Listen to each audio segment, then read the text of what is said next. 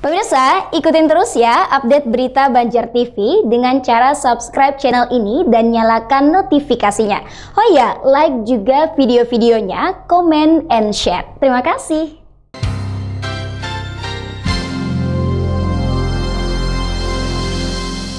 Sementara itu bakal calon wakil wali kota Banjarmasin jalur perseorangan Ahmad Firdaus mendatangi masyarakat yang berada di Jalan Tunas Baru, Kelurahan Teluk Dalam, Banjarmasin Tengah.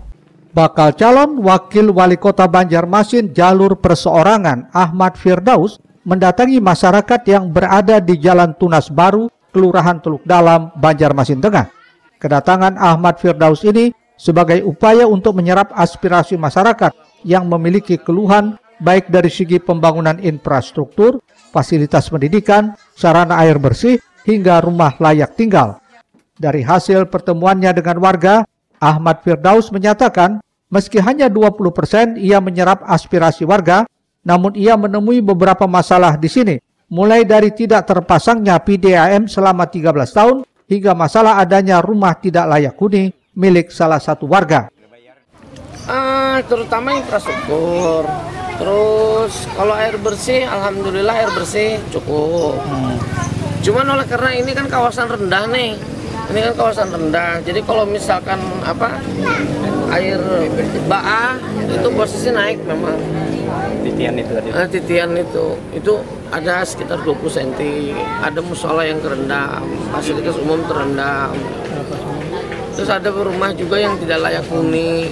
Konsentrasi kita itu. Nah rumah yang tidak layak huni ini oleh karena apa? Apakah oleh karena beliau pengangguran? Apakah oleh karena beliau memang udah tua? Atau kita nggak tahu nih faktornya masih belum tahu. Ini kan baru makanya tadi kan untuk daerah sini aja baru 3 RT 65 66 67 ini baru 25 persen. Bahkan nggak nyampe. Nggak nyampe masih ya anggaplah 15 persen aja 15 persen aja karena satu waktu yang kedua uh, apa nggak bisa menjajaki secara penuh gitu nah makanya nanti kita akan pasti akan balik sini lagi Lawas kan ada pemerintah apa sini membantu deh? Nggak ada. ada. Jelas nggak sih. Kita orang tua di sini sudah. Hmm, sudah ada kah anu dari warga untuk melapor?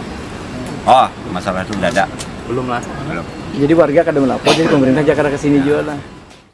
Ke depannya Ahmad Firdaus juga akan melakukan belusukan seperti ini di beberapa titik di wilayah kota Banjarmasin agar nantinya bisa menjadi bahan untuk kemajuan pembangunan kota berjuluk Seribu Sungai.